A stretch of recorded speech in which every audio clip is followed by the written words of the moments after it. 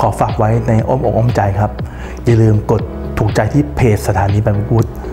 กดถูกใจเพจสถานีบรรพุทธแล้วก็กดเห็นก่อนที่เพจของเรานะครับ อีกหนึ่งช่องทาง บน YouTube กด Subscribe แล้วก็กดกระดิ่ง เพื่อรับการแจ้งเตือนคลิปใหม่ๆของช่องเราครับ